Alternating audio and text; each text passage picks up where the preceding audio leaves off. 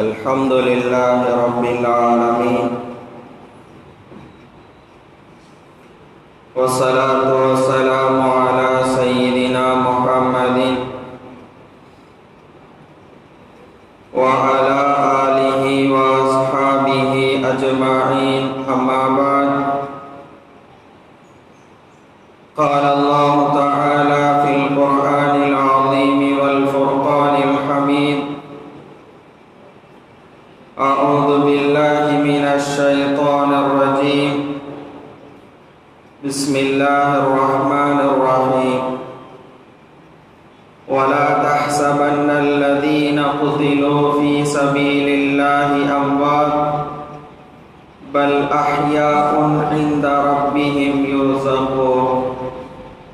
صدق الله العلي العظيم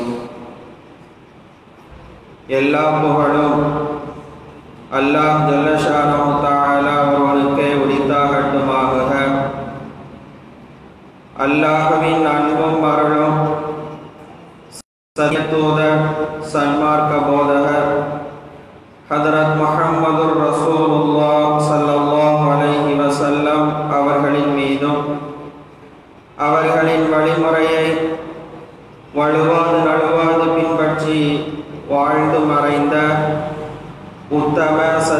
சஹாபாக்கள் தாபியங்கள் தபாவு தாபியங்கள் மீதும்.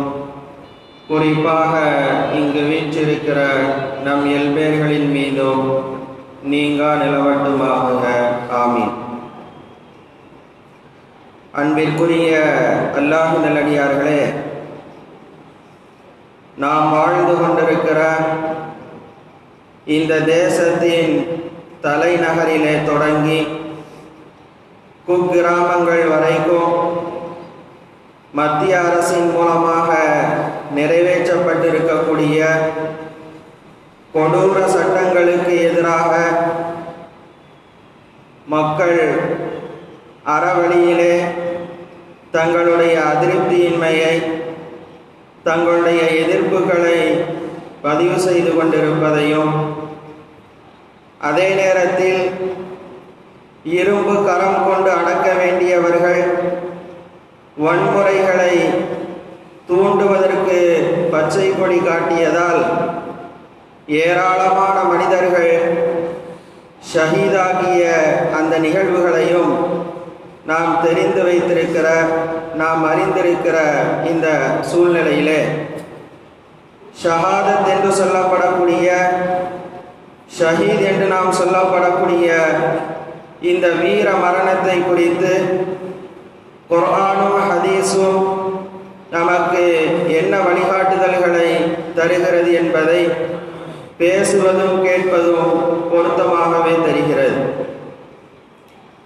அன்பானவர்களே நாம் சார்ந்திருக்கிற எந்த துறையாக இருந்தாலும் நாம் வியாபித்திருக்கிற எல்லா சூழ்நிலைகளுக்கும் நமக்கு வழிகாட்டுகிற அகிலத்தின் அருட்கொடை அண்ணல் சல்லல்லா வலைஹி வசல்லம் அவர்கள் இந்த ஷஹீதுகளுடைய விஷயத்திலே நாம் எப்படி நடந்து கொள்ள வேண்டும் என்பதற்கான வழிகாட்டுதலையும் நமக்கு தந்திருக்கிறார்கள். நபி அவர்களை வரலாறிலே வருகிறது.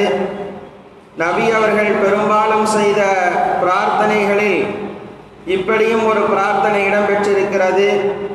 اللهم இன்னி أسألك شهادة في சபீலி اللهم இன்னி أسألك شهادة في சபீலி இறைவா உன்னுடைய வழியிலே போராடி அதிலே எனக்கு மரணம் ஏற்படுகிற அந்த ஷஹாதத்தை எனக்கு நீ வழங்குவாயாக என்று நபி சொல்லல்லாஹ் அலைஹி வஸல்லம் அவர்கள் வீர மரணத்தை அல்லாஹ்விடத்திலே பிரார்த்தனையிலே கேட்டிருக்கிறார்கள் என்பதை வரலாறின் மூலமாக நாம் தெரிகிறோம். எப்படிப்பட்ட நபி என்று சொன்னால் இறைவனிடத்திலே கேட்பதை அப்படியே அவர்களுக்கு அங்கீகரிக்கப்படக்கூடிய அளவிற்கு செல்வாக்கு வழங்கப்பட்ட நபி ஸல்லல்லாஹு அலைஹி வஸல்லம் அவர்கள் இந்த உலகத்திலே பொன்னையோ பொருளையோ பொருளாதாரத்தையோ இன்ன பிற விஷயங்களையோ அவர்கள் இறைவனிடத்திலே பிரார்த்தனையாக கேட்காமல் உன்னுடைய பாதையிலே வீர மரணம் அடைகிற அந்த விஷயத்தை எனக்கு வழங்கு என்று நபி சொல்லல்லாம் வணங்கி வசல்லம் அவர்கள் இந்த பிரார்த்தனையை செய்திருக்கிறார்கள் என்றால் நபி இடத்திலே இந்த வீர மரணத்திற்கு எந்த அளவிற்கு உயர்ந்த மதிப்பை மரியாதையை அந்தஸ்தை வழங்கி இருக்கிறார்கள் என்பதை இந்த விஷயத்தின் மூலமாக நாம் புரிந்து கொள்கிறோம். நபி எதை விரும்புகிறார்களோ அதை அப்படியே செய்வதற்காக அல்லாஹ் காத்திருந்த போதும் வேறு எதையும் விரும்பாமல் இறைவனுடைய வழியிலே வீர மரணம் அடைவதை நபி ஸல்லல்லாஹு செல்லம் அவர்கள் விரும்பி இருக்கிறார்கள் என்பதை நாம் புரிந்து கொள்ள முடிகிறது. அது மட்டுமல்ல இந்த விருப்பம் என்பது தன்னுடைய வாழ்நாளையிலே ஒரே ஒரு முறை மட்டும் நிகழ்ந்து விடக்கூடாது என்பதிலும் நபி ஸல்லல்லாஹு அலைஹி அவர்கள் கண்ணும் கருத்துமாக இருந்த செய்திகளை ஹதீஸ் கிரந்தங்களின் மூலமாக நாம் தெரிந்து கொள்கிறோம். நம்ப தகுந்த நபிமொழி கிரந்தமான சஹீஹுல் புகாரி முஸ்லிம் போன்ற நபிமொழி கிரந்தங்களிலே வருகிறது. நபி ஸல்லல்லாஹு அலைஹி சொல்கிறார்கள் வல்லதி நப்சி பியதிஹி வல்லதி நப்சி பியதிஹி என்னுடைய உயிர் யாருடைய கைவசத்திலே இருக்கிறதோ அந்த இறைவனின் மீது ஆணையாக வதித்து அன்னி லவ் அல்லாஹுடைய பாதையிலே நான் போர் செய்வதை தேவைப்படுகிற போது போர் செய்வதை நான் விரும்புகிறேன். ஃபவுக்தலு, அந்த போரிலே நான் கொலை செய்யப்பட வேண்டும் ஷஹீதாக்கப்பட வேண்டும் வீர மரணத்தை நான் தழுவ வேண்டும். அதோடு என்னுடைய வாழ்க்கை முடிந்து விடக்கூடாது. சும்மா அஹ்யா. பின்பும் எனக்கு உயிர் கொடுக்கப்பட வேண்டும். ஃபவுகாத்திலு, நான் அங்கு போர் செய்யப்பட வேண்டும். ஃபவுக்தலு, நான் அங்கு வீர மரணத்தை எனக்கு கொடுக்கப்பட வேண்டும் என்று மூன்று முறைகள் நபி சொல்லல்லாமுனை வசல்லம் அவர்கள் இந்த வார்த்தையை திரும்ப திரும்ப இறைவனிடத்திலே கேட்டிருக்கிறார்கள் சொல்லியிருக்கிறார்கள் என்பதை ஹதீஸ்களின் மூலமாக நாம் பார்க்க முடிகிறது. அப்படியானால் இந்த வீர மரணத்தினுடைய விஷயத்திலே நபி ஸல்லல்லாஹு அலைஹி அவர்கள் எந்த அளவிற்கு விருப்பத்தோடு இருந்திருக்கிறார்கள்? எந்த அளவிற்கு நபி அவர்கள் உயர்வானவர்களாக இருக்கிறார்களோ இந்த உலகத்திலே அல்லாஹிற்கு அடுத்த உயர்ந்த அந்தஸ்திலே இருக்கக்கூடிய மிகப்பெரிய ஒரு மனிதர். அது மட்டுமல்ல இந்த உலகத்திலே இருக்கக்கூடிய எல்லா பதவிகளையும் விட எல்லா பட்டங்களையும் விட மிக உயர்ந்த பட்டமான பதவியான நுபுவத்தை பெற்றிருந்த அந்த நபி ஸல்லல்லாஹு அவர்கள் இந்த ஷஹாதத்தை அல்லாஹிடத்திலே விரும்பி கேட்டிருக்கிறார்கள் என்று சொன்னால் ஷஹாதத்திற்கு நபி அவர்கள் ஒரு தனி அந்தஸ்தை ஒரு தனி மதிப்பை ஒரு தனி மரியாதையை அது விஷயத்திலே அவர்களுடைய கவனத்திலே இருந்திருக்கிறது என்பதைத்தான் நமக்கு எடுத்து காட்டுகிறது.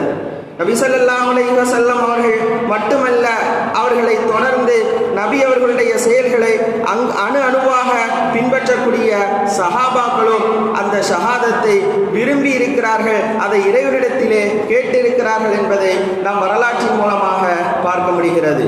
ஹசரத் உமர் ரதி அல்லாஹு அவர்களுடைய வரலாறிலே வருகிறது. அல்லாஹிடத்திலே கேட்கிறார்கள் அல்லாஹ் மர்சுகுனி ஷஹாதத்தன் ஃபீ சபீலி. இறைவா என்னுடைய உயிர் என்பது வேறு எங்கும் சென்று விடக்கூடாது. உன்னுடைய பாதையிலே போரிட்டு அந்த போர்க்களத்திலே என்னுடைய உயிர் என்பது அங்கு ஷஹீதாக்கப்பட வேண்டும். அத்தகைய பாக்கியத்தை எனக்கு நீ கொடுப்பாயாக என்று உமர்ரதி ரதி அல்லாஹு அவர்கள் கேட்ட பிரார்த்தனை வரலாற்று நூல்களிலே பதிவு செய்யப்பட்டிருக்கிறது. அப்படியானால் ஹசரத் உமர் ரதி அல்லாஹு அவர்களுடைய வரலாறு நீண்டது நெடியது நாம் அவைகளை கேள்விப்பட்டிருக்கிறோம். கடைசியிலே அந்த பிரார்த்தனையை அல்லாஹ் அங்கீகரித்ததை போன்று அவர்கள் கேட்டதைப் போல அவர்களுடைய வரலாறிலே அவர்கள் ஷஹீத் ஷஹீதாக்கப்பட்டார்கள் என்பதையும் நாம் அறிந்து வைத்திருக்கிறோம்.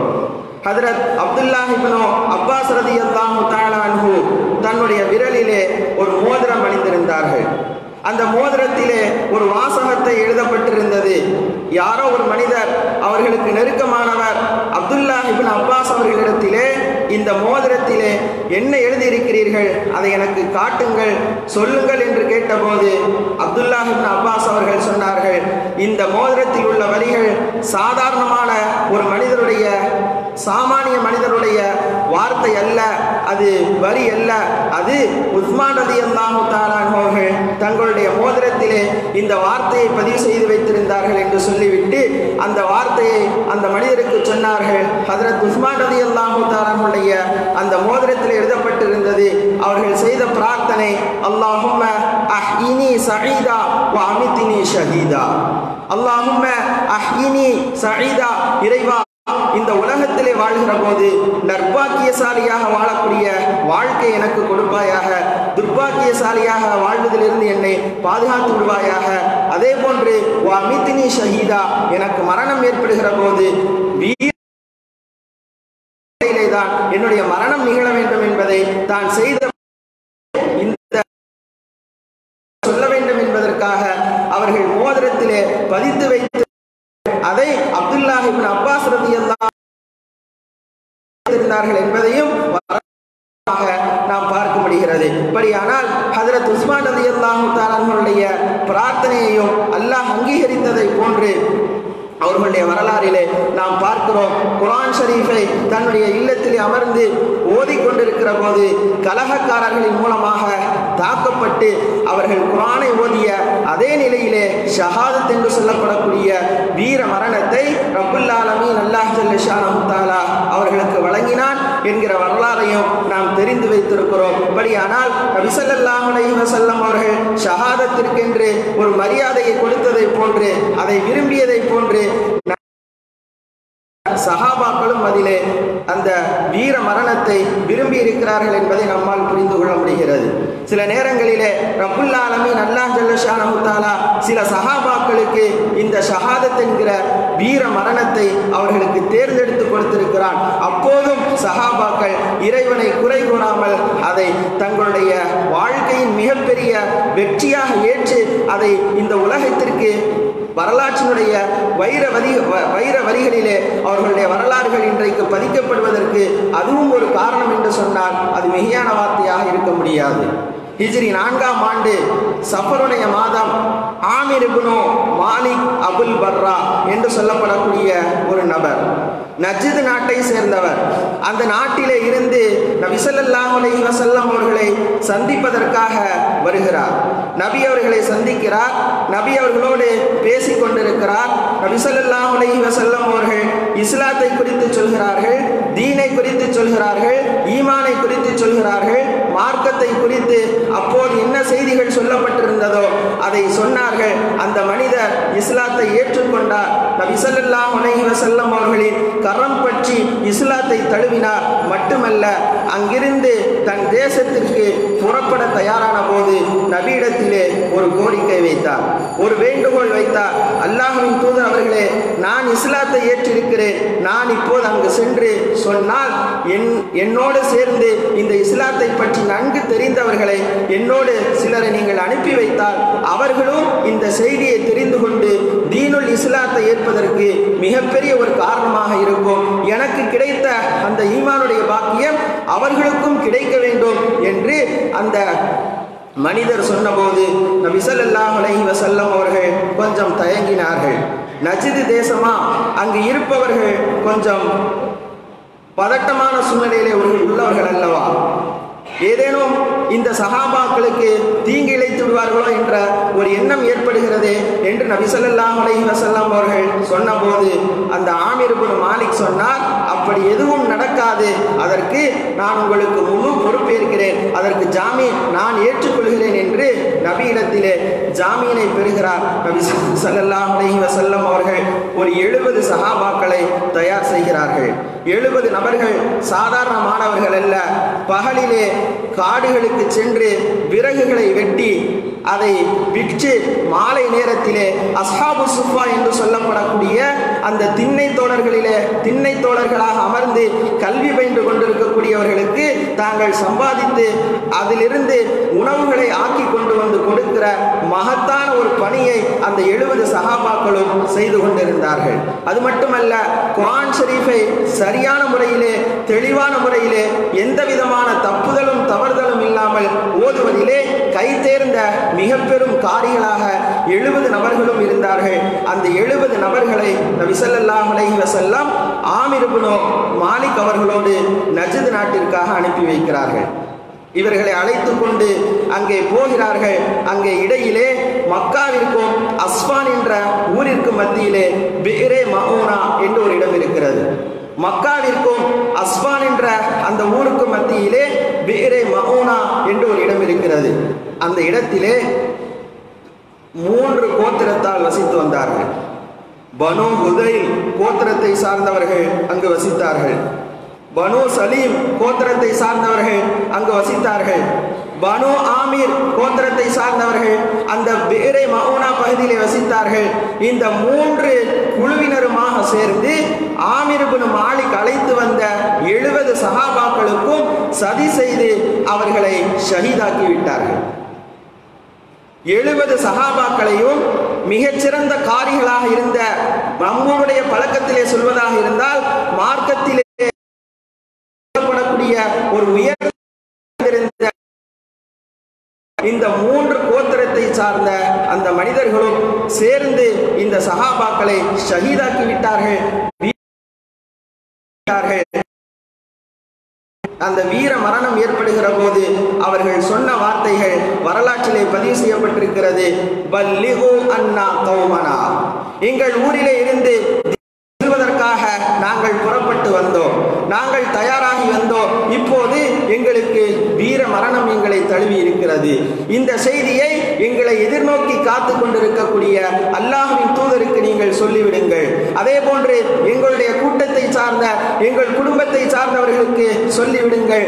பல்லிஹு அண்ணா கௌமனா எங்கள் கூட்டத்தை குறித்த செய்தியை நீங்கள் அவர்களுக்கு எத்தி வைத்து விடுங்கள் என்று சொன்னதோடு மட்டுமல்லாமல் அவர்கள் அடுத்து சொன்ன வார்த்தை இன்னா ரதீனா ரப்பனா இன்னா லகீனா ரப்பனா. நாங்கள் எங்கள் இறைவனை சந்திப்பதற்காக சென்று கொண்டிருக்கிறோம். நாங்கள் எங்கள் இறைவனை சந்திப்பதற்காக சென்று கொண்டிருக்கிறோம். ரலிய அண்ணா ஓ அருளானா. அல்லாஹ் எங்களுக்கு இந்த பாக்கியத்தை கொடுத்திருப்பது அல்லாஹ் நாங்கள் செய்த இதுவரை செய்த அமல்களை கபூல் செய்து கொண்டான் போல் தெரிகிறது. எங்களுடைய விவாதத்துக்களை எங்களுடைய நடைமுறைகளை அவன் பொருந்தி கொண்டான் போல் தெரிகிறது. ரலிய அண்ணா அல்லாஹும் எங்களை பொருந்தி கொண்டான். வ அருளானா. அல்லாஹையும் அல்லாஹுடைய இந்த விஷயத்தையும் நாங்கள் பொருந்தி கொண்டோம் என்ற வார்த்தையை சொல்லி அந்த எதிரிகளின் மூலமாக வீர மரணத்தை அவர்கள் தழுவினார்கள் என்பது வரலாறிலே வருகிறது. இங்கு நாம் புரிய வேண்டிய செய்தி என்ன தெரியுமா? ஊரிலே இருந்து அவர்கள் புறப்படுகிற போது மரணத்தை தயார் செய்து அவர்கள் புறப்படவில்லை. வீர மரணம் தங்களை வந்து தழுவும் என்பதை கனவிலே கூட நினைத்து பார்க்கவில்லை. மீண்டும் சொந்த ஊருக்கு வருவோம் என்ற நிலையிலே சென்றவர்களுக்கு இந்த நிலை ஏற்பட்ட போது அவர்கள் அல்லாஹை அங்கு பழிக்கவில்லை. அல்லாஹின் மீது குறை சொல்லவில்லை. இறைவா உனக்கு தெரியாதா? இப்படி நடக்கும் என்று நீ நபிக்கு சொல்லியிருந்தால் நாங்கள் ஏதாவது ஏற்பாடு செய்துவிட்டு வந்திருப்போமே என்று அல்லாஹை அவர்கள் அந்த நேரத்திலும் கூட குறை சொல்லவில்லை. அல்லாஹ் எங்களுக்கு ஷஹாதத் என்று சொல்லப்படக்கூடிய வீர மரணத்தை கொடுத்திருக்கிறான் அதை நாங்கள் பொருந்திக் கொள்கிறோம் அல்லாஹ் எங்களை பொருந்திக் கொண்டதைப் போல நாங்களும் பொருந்திக் கொள்கிறோம் என்ற வார்த்தையை அந்த சஹாபாக்கள் சொல்லியதாக வரலாறிலே வருகிறது. இன்னமும் மெய்சிலிருக்க வைக்கக்கூடிய ஒரு நிகழ்ச்சி இந்த பிகரை மகோனாவுடைய நிகழ்ச்சியிலே வருகிறது. இந்த மூன்று கோத்திரத்திலே இருந்த ஜப்பார் என்று சொல்லப்படக்கூடிய ஒரு மனிதர் சொல்கிறார் இந்த எழுபது சகாபாக்களிலே ஹதரத் அபூபக்கர் சித்திக்கிறது அல்லாஹு தாலானு அவர்களின் மூலமாக உரிமை விடப்பட்ட ஆமிர் இப்னு ஃபுஹைரா ரதியல்லாஹு தாலான்ஹு என்ற சகாபியும் இருந்தார்கள். அவர்களை நான் எய்து அவர்களுக்கு வீர மரணத்தை அவர்களுக்கு அங்கு எய்தச் செய்தேன் என்று அந்த மனிதர் சொல்லிவிட்டு அந்த கடைசி நேரத்திலே ஈட்டி அவர்களுடைய உடலிலே பாய்ந்து அவர்களுடைய உயிர் பிரிகிற அந்த கடைசி தருணத்திலே ஆமிர் குனு புகைரா சொன்னார் ஃபுஸ்து வல்லாஹி ஃபுஸ்து வல்லாஹி அல்லாஹின் மீது ஆணையாக நான் வெற்றி பெற்று விட்டேன் என்று வார்த்தையை சொல்லிவிட்டு அவருடைய உயிர் பிரிந்தது இது ஆச்சரியமான மனிதனாக இருக்கிறார் அதிசயமான மனிதனாக இருக்கிறார். இந்த மனிதர் உடலிலே இருந்து உயிர் பிரிந்து விட்டது. உலகிற்கும் இவருக்கும் சம்பந்தம் இல்லாமல் ஆகிவிட்டது. இவருடைய மனைவி விதவையாகிவிட்டார். இவருடைய குழந்தைகள் அனாதைகளாகிவிட்டார்கள். இவருடைய பெற்றோர்களுக்கு மத்தியில் இருந்த உறவு முறை தொடர்பு துண்டிக்கப்பட்டு விட்டது. ஒட்டுமொத்த குடும்பமே சோகத்திலே இருக்கிற இந்த நிகழ்ச்சி எப்படி வெற்றியாக இருக்க முடியும்? அது மிகப்பெரிய ஒரு இழப்பல்லவா? அது மிகப்பெரிய ஒரு சோர்வல்லவா என்ன இது? அதிசயமான மனிதனாக அல்லவா? இந்த ஆமிருபுல் புகைரா இருக்கிறார் என்று அந்த குஸ்து வல்லாஹி என்ற வார்த்தையை கேட்டபோது எனக்கு ஆச்சரியம் மேலிட்டது. அதை குறித்து நான் சக மனிதர்களிடத்திலே பேசிக் கொண்டிருந்த போது லஹாக் ரதி அல்லாஹு அன்ஹு என்ற சஹாபி விளக்கம் சொன்னார்கள் தோழரே இந்த உலக வாழ்க்கை என்பது அது நிரந்தரமானதல்ல. அது ஒரு காலத்திலே முடிய பெறக்கூடியதாக இருக்கிறது. இப்போது எந்த மனிதர் இந்த நிரந்தரம் இல்லாத உலகத்திலே இருந்து அந்த நிரந்தரமான உலகத்திற்கு சென்றிருக்கிறாரோ அதுவும் ஷஹாதத் என்கிற வீர மரணத்தை தழுவி சென்றிருக்கிறார். இது போன்ற செல்கிறார்களோ அவர்களுக்கு சுவனம்தான் கூலி. ஒரு மிகப்பெரிய வெற்றி என்பது சுவனத்தை பெறுவதற்கு இந்த தியாகம் என்பது இந்த வீர மரணம் என்பது அவருக்கு ஒரு ஓப்பாக உதவியாக இருந்திருக்கிறது. எனவேதான் அந்த மனிதர் நமக்கு மிகப்பெரிய வெற்றி இந்த உலக வாழ்க்கையை விட வெற்றியாக இருக்கக்கூடிய அந்த சுவனம் நமக்கு கண்டிப்பாக கிடைக்கும் என்ற நம்பிக்கையிலே தான் அல்லாஹின் மீது ஆணையாக நான் இந்த உலக வாழ்க்கையில இருந்து மறுமை வாழ்க்கையிலே என்னுடைய மறுமைக்கான வாழ்க்கையிலே நான் ஜெயித்து விட்டேன் வெற்றி பெற்று விட்டேன் என்கிற அந்த வார்த்தையை என்கிற அந்த மனிதரை கொலை செய்த ஈட்டியால் அவர்களுக்கு வீர மரணத்தை அந்த ஜப்பார் பின்னர் இவ்வளவு பெரிய வரலாறுகள் இதற்கு பின்னணியிலே மறைந்திருக்கிறதா என்று கேட்டு அந்த லஹாக் ரதி அல்லாஹு தாலான்களுடைய கரத்தை பற்றி ஜப்பார் ரதி அல்லாஹு தாலான்வாக மாறினார் என்கிற செய்தியும் வரலாற்று நூட்களிலே பதிவு செய்யப்பட்டிருக்கிறது. படியானால் இந்த சஹாபாக்கள் ஷஹாதத்தை விரும்பவில்லை.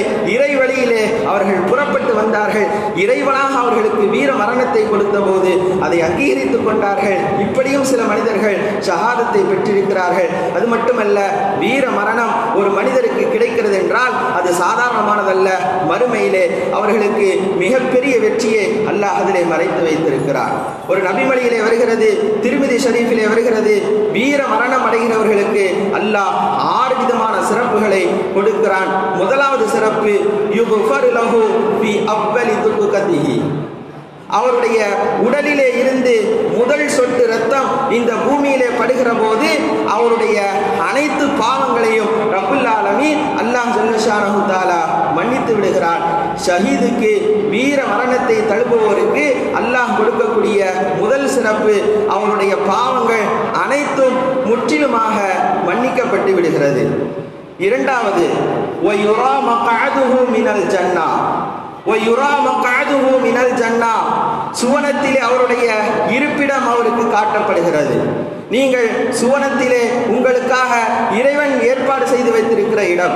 இவ்வளவு நாட்களாக இந்த மார்க்கத்தை பரப்புவதற்காக இந்த மார்க்கத்தை சொல்வதற்காக இந்த தீனுல் இஸ்லாத்தை ஏற்பதற்காக உங்களுக்கு மிகப்பெரிய சோதனைகள் வந்த போதும் நீங்கள் ஈமானை விட்டு விடாமல் ஸ்திரத்தன்மையோடு இருந்ததால் உங்களுக்கு அல்லாஹ் ஏற்பாடு செய்திருக்கக்கூடிய உங்கள் தங்கும் இடம் நாளை கியாமத்திலே உங்களுக்கு அல்லாஹ் கொடுக்க இருக்கிற இடம் இதுதான் என்று ஒய்யுரா மினல் ஜன்னா. சூனத்திலே அவருக்கு அந்த இருப்பிடத்தை காட்டப்படும். இது அவருக்கு வழங்கப்படக்கூடிய இரண்டாவது சிறப்பு. மூன்றாவது ஒய்யுஜாரு மின் அதாபில் கபர். கபருடைய வேதனை அவருக்கு முற்றிலுமாக நீக்கப்படுகிறது. அவர் போது அவருடைய இருப்பிடம் அங்கு முடிவு செய்யப்பட்ட போது கபரே அவருக்கு சுவன பூஞ்சோலையாக மாறிவிடுகிறது. அங்கு கபரிலே நான்காவது சிறப்பு மினல் ஃபஸ்இல் அக்பரி. மிகப்பெரிய திடுக்கத்துடைய நாள் கியாமத்துடைய அந்த மஷர் மைதானத்துடைய கேள்வி கணக்குகளில் இருந்து பயப்படாதவராக நிம்மதி பெற்றவராக சந்தோஷமாக இருப்பார். இது வீர மரணத்தை தழுவுகிறவர்களுக்கு அல்லாஹ் கொடுக்கிற நான்காவது சிறப்பு. ஏன் தெரியுமா? எல்லோரும் நமக்கு என்ன நடக்குமோ நமக்கு என்ன நடக்குமோ என்று அல்லாஹுடைய விஷயத்திலே பயந்து கொண்டிருக்கக்கூடிய நேரத்திலே இந்த வீர மரணத்தை தழுவியர்களுக்கு தாஜுல் வக்கார் கண்ணியம் என்கிற மிகப்பெரிய ஒரு கிரீடத்தை இந்த வீர தியாகிகளுக்கு ஷஹீதுகளுக்கு அவருடைய தலையிலே வைக்கப்படும். அந்த கிரீடத்திலே இந்த உலகத்திலே இருக்கக்கூடிய விலை உயர்ந்த கற்கள் இந்த உலகத்தில் இல்லாத விலை உயர்ந்த கற்களால் அந்த கிரீடம் என்பது அலங்கரிக்கப்பட்டிருக்கும். அதன் மூலமாக அந்த கிரீடம் மின்னிக் கொண்டிருக்கும் அதன் மூலமாக அவர் எந்த விதமான பயமும் இல்லாமல் அவர் நிம்மதியானவராக சந்தோஷமானவராக இருப்பார். இது வீர மரணத்தை தழுவுகிறவர்களுக்கு அல்லாஹ் வழங்குகிற நான்காவது சிறப்பு. ஐந்தாவது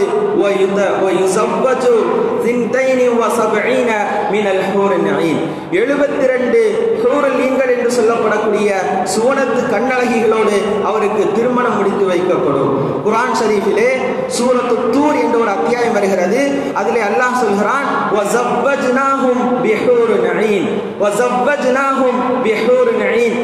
கோரினீர்கள் பெண்களை அவர்களுக்கு நாம் திருமணம் முடித்து வைப்போம் என்று இந்த வசனத்திலே சொல்லப்பட்டிருப்பதைப் போன்று வீர மரணத்தை அவர்கள் தழுவியதற்காக அல்லாஹ் வழங்குகிற ஐந்தாவது சிறப்பு எழுபத்தி ரெண்டு ஊருளீன்களோடு அல்லாஹ் அவர்களுக்கு திருமணத்தை முடித்து வைக்கிறான்.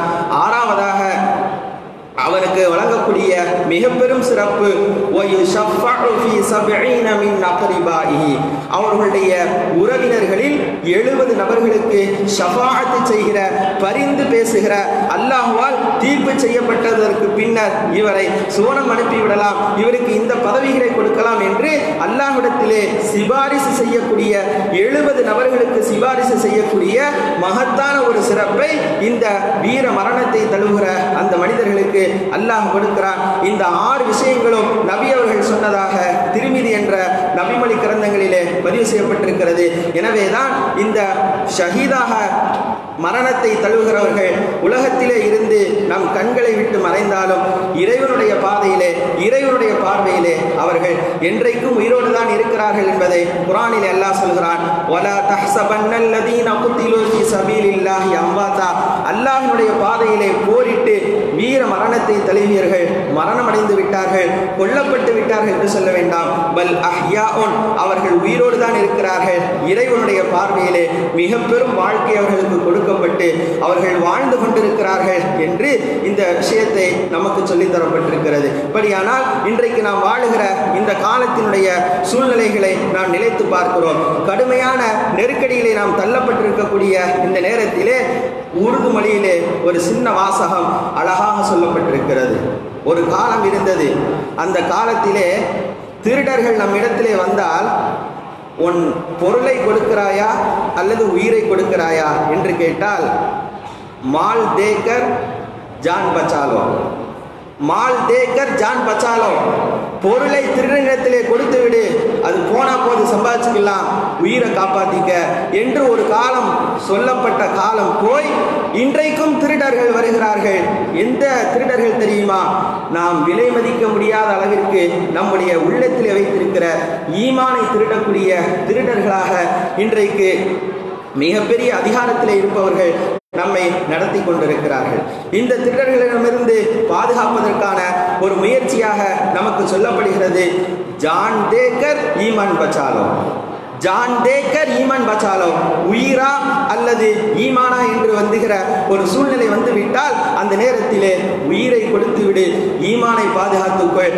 எதற்காகவும் நீ ஈமானை இழந்து விடாதே என்கிற ஒரு அருமையான கருத்தை ஒரு நமக்கு சொல்லி தரப்பட்டிருக்கிறது இப்படியானால் இன்றைக்கு நாம் தள்ளப்பட்டிருக்கக்கூடிய இந்த நெருக்கத்திலே கொண்டு பார்க்கிற போது என்று நீ நாங்கள் சொல்கிற அந்த இறைவனுக்கு பிடிக்காத அந்த வார்த்தையை சொல்கிறாயா? அல்லது இந்த உலகத்திலே நீ உயிரோடு வாழ்வதற்கு விரும்புகிறாயா? என்று இன்றைக்கு தலைநகரிலே துவங்கி பல்வேறு இடங்களிலே மனிதர்கள் துன்புறுத்தப்படுகிறார்கள். அந்த நேரத்திலே இது தலைநகரில் நடக்கிறது என்று நாம் இருக்க வேண்டாம். நாளை நமதூருக்கும் இதே சூழ்நிலை ஏற்பட்டால் நாம் ஈமானை பாதுகாப்பதற்கு முன்வர வேண்டும்.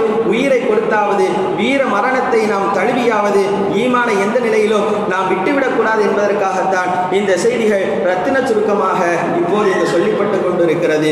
ஈமானுக்காக எதை வேண்டுமானால் இழக்கலாம் உயிரை இழக்கலாம் அல்லது நம்முடைய காசு பணங்களை எல்லாவற்றையும் இழக்கலாம். ஆனால் நாம் எதையுமே இழந்துவிடக் கூடாது என்பதைத்தான் நிகழ்ச்சிகள் அனைத்தும் நமக்கு எடுத்துக்காட்டு ரபுல்லா வாழ்க்கை நடத்துகிற போது நமக்கு ஏற்படுகிற சோதனைகளின் போது எல்லாவற்றையும் நாம் பேச எதிர்நோக்க வேண்டும். கடைசி கட்டம் வரைக்கும் ஈமானுக்கே பாதிப்பு வருகிறது என்று சொன்னால் அந்த ஈமானை பாதுகாப்பதிலே தான் நம்முடைய முழு கவனங்களையும் நாம் நிகழ்ச்சிகள் அனைத்தையும் நமக்கு ரபுல்லாலமின் அல்லாஹ் ஜல்லஷானஹு அமல்படுத்தப்பட்டிருக்கக்கூடிய கொடிய சட்டங்களிலிருந்தும் கொடூர சட்டங்களிலிருந்தும் அதனுடைய பின்னணி